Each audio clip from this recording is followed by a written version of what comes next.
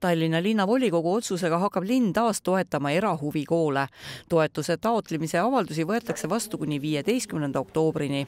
linn soovib erahuvikoole toetades pakkuda lastele ja noortele vanuses seitse kuni üheksateist eluaastat võimalikult mitmekesist huviharidust. loomulikult on Tallinnal kümme munitsipaalhuvikooli, lisaks on äh, paljudes, väga paljudes äh, koolides äh, samamoodi igasugused huviringid üldhariduskoolides, nii et me võime öelda nagu, et Tallinn saab väga ilusti äh, huvihariduse pakkumisega hakkama.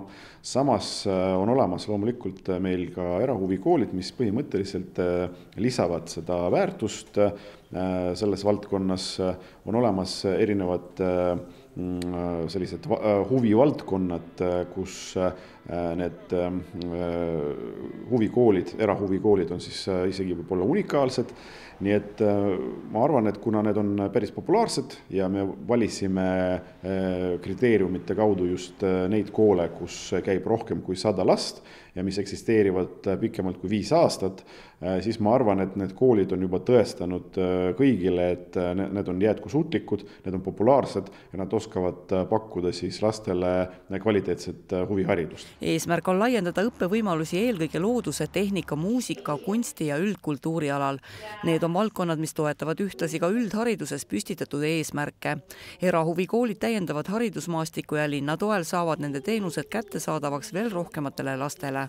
Mis summadest me räägime, kui me räägime toetamisest, kas see käib õpilaste arvu järgi või kuidas? see käib õpilaste arvu järgi, see, need summad varieeruvad kuuest tuhandest umbes seitsmeteistkümne tuhandeni.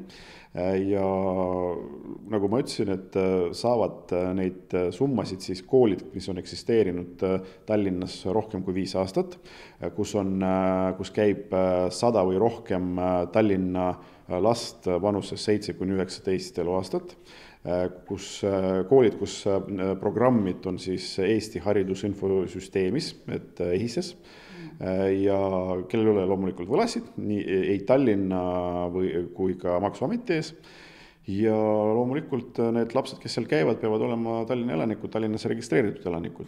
nagu öeldud, toetuse saamiseks tuleb erahuvikoolil hiljemalt viieteistkümnendaks oktoobriks esitada Tallinna Haridusametile vastav taotlus, kuhu on märgitud õpilaste arv kümnenda oktoobri seisuga. viimati toetas Tallinna linn erahuvikoole kahe tuhande üheksandal aastal